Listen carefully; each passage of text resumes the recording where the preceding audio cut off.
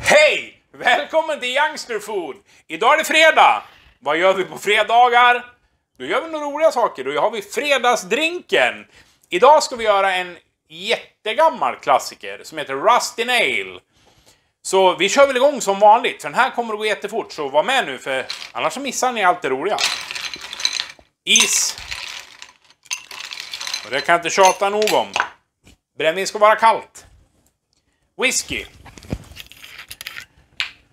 Och här använder vi måttenheten 3 centiliter. Whiskylikör. Drambuie. Också samma måttenhet, 3 centiliter. Och då kan ju den minnesgoda komma ihåg att smack så har vi gjort oss en sexa, eller hur?